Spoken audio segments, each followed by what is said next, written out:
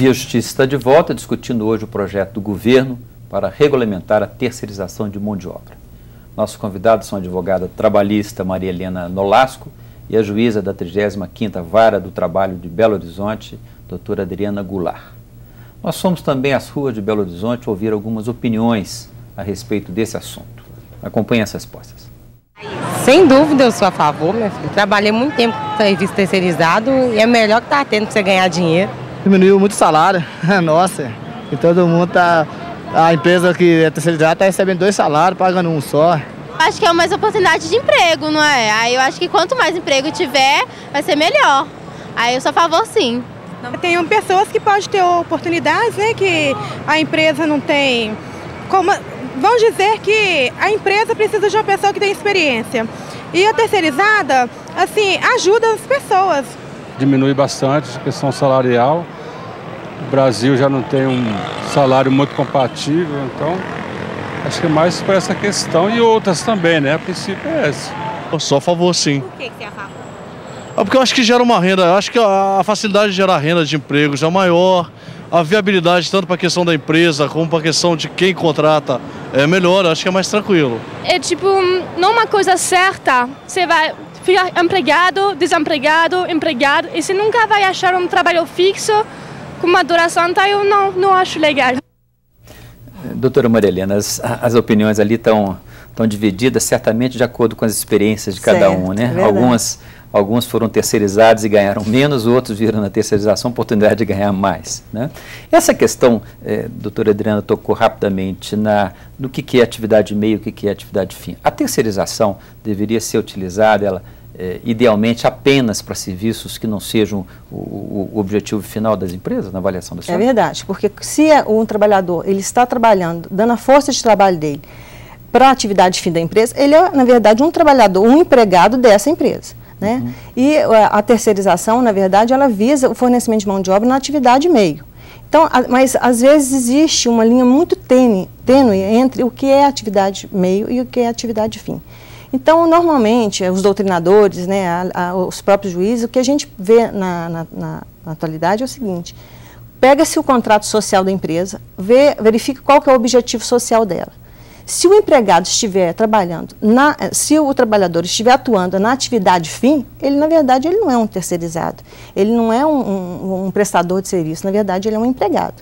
E é nessa ótica que a Justiça do Trabalho ela é rigorosa de verificar se existem os elementos aí do artigo 3 da CLT, a questão da, da, da habitualidade, da pessoalidade, da remuneração e principalmente da subordinação. Sim. Então, essa questão da atividade meio, ela deve se se pautar a questão da terceirização. Perfeito. Doutora Adriana, é, é fácil definir o que, que é atividade fim, o que, que é atividade no meio? Vamos pegar empresas, por exemplo, de alta tecnologia, onde as, as coisas são muito específicas, né? É, é, é, ou esse é um problema para a justiça? Não, é como a doutora Maria Helena mesmo disse, é exatamente dessa forma que grande parte dos juízes ou grande parte da interpretação pelo próprio Ministério do Trabalho e Emprego é feita. Pega-se o contrato social, o Ministério Público do Trabalho também tem ajuizado ações civis públicas, eh, requerendo a, digamos, a regularidade das, das terceirizações. Então, pega-se o contrato social da empresa e vê o que, que ela define como sendo eh, o seu objetivo no mercado, o que, que ela coloca como sendo o que ela vai fazer. Então, a partir disso, o que estiver lá é atividade fim. Então, por exemplo, eh, se é um supermercado e que coloca que é a propaganda e a distribuição, vamos supor, de propaganda é da sua atividade fim, então uma pessoa que entregue folheto na sua casa, dizendo, fazendo propaganda de um determinado supermercado, aqui dando exemplo de supermercado, poderia ser uma drogaria, etc., não interessa. A questão é, se está lá no contrato social que fazer propaganda é uma das suas atividades fins, então ele tem que ter aquele, aquela pessoa ali não pode ser terceirizada, ela é um empregado, é atividade fim. Perfeito. Doutora Maria Helena, é, como é que tem sido a, a- a- atuação das empresas? A senhora está defendendo a regulamentação. O, o- ponto que tem, eh, tem causado mais problemas com esses empregados terceirizados? O pessoal, em geral, eh, recorre, quando recorre à justiça contra uma empresa, está buscando os mesmos, eh, os mesmos direitos que são garantidos por convenção coletiva a todos os empregados? Normalmente, quando um trabalhador busca a justiça do trabalho para reivindicar esses direitos dele, é porque ele sentiu que naquela terceirização, naquela prestação de serviço, na verdade, ele era o autêntico empregado. Ele estava ali trabalhando em igualdade de condições de um, de um empregado da empresa tomadora de serviço. Não apenas do ponto de vista de subordinação, mas da própria atividade fim. Ele está trabalhando ali numa atividade que vários outros trabalhadores estão. O que a gente tem que ter em, mente é o seguinte: a questão da terceirização, a lei prevê expressamente quais são essas condições. É um aumento de serviço sazonal, às vezes nas empresas quando elas é, contratam trabalhadores no final do Isso ano. Isso já está previsto em lei? Já. A lei, hoje em vigor, ela já prevê expressamente duas situações, mais, mais claramente duas situações, que seria nesse aumento de serviço sazonal, às, uhum. sazonal, às vezes no final de ano, quando você tem que aumentar a sua força de trabalho, ou às vezes num, numa substituição temporária.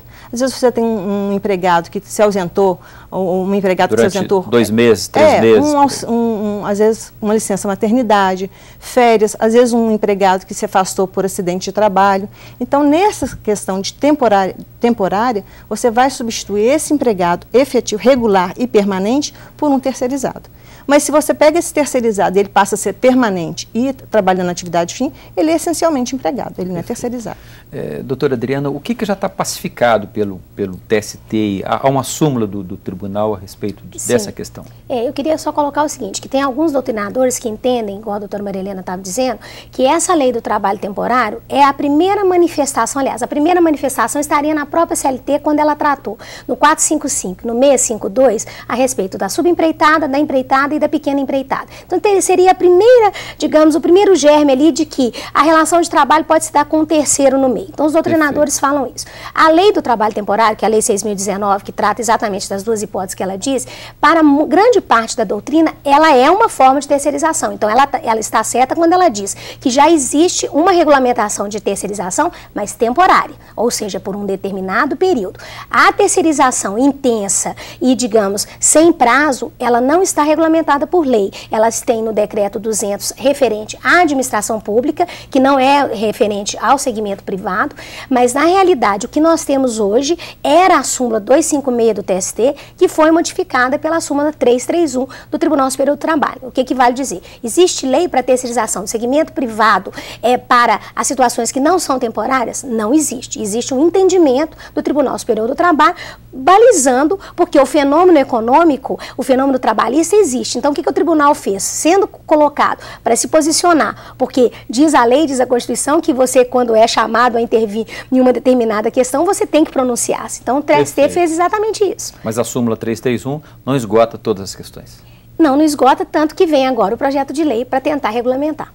É, e só colocando também, Manuel, é que, eu acho também que não esgota, porque quando é, se tem uma responsabilização subsidiária, mas muitas vezes a gente tem decisões judiciais que o juiz entendeu que, na realidade, ali, pelo contrato de realidade que existiu entre as partes, a responsabilização é solidária. Solidária e não apenas subsidiária. Não, apenas subsidiária. Nós vamos a mais um rápido intervalo e voltamos em seguida com o bloco final do programa.